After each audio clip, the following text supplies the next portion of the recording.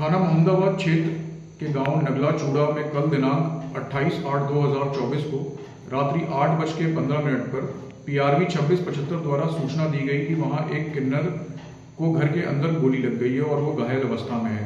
इस पर पीआरवी छब्बीस पचहत्तर के जवानों ने मौके पर पहुंचकर घायल अवस्था में सुनीता किन्नर उर्फ़ शिव शंकर गुरजी, पुत्र रामस्वरूप, निवासी ग्राम रूनी पकरिया थाना जहानगंज, उम्र तकरीबन 45 वर्ष को 108 एंबुलेंस के ज़रिए सीएचसी मोहम्मदाबाद भिजवाया, जहाँ पर डॉक्टरों ने उसे मृत घोषित कर दिया।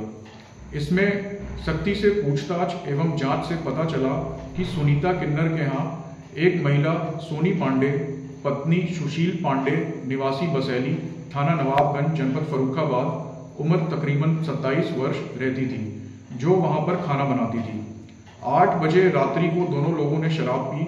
शराब के नशे में महिला ने कहा कि अब वो यहाँ नहीं रुकेगी और अपने घर जाएगी, जबकि किन्नर द्वारा उसे रोकने का प्रयास किया गया और अपने बक्से में रखे तमंचे को निकालकर महिला सोनी पांडे पर तान दिया।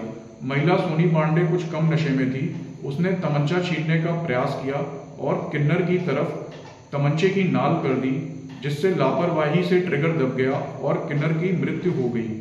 इसके संबंध में महिला सोनी पांडे के खिलाफ मुकदमा अपराध संख्या एक सौ चौरासी बटे चौबीस, धारा 105 बीएनएस थाना मोहम्मदाबाद में पंजीकृत किया गया है।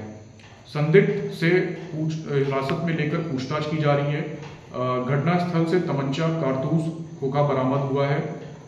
मृतक सुनीता किन्नर का पोस्टमार्टम की कार्रवाई करा दी गई है।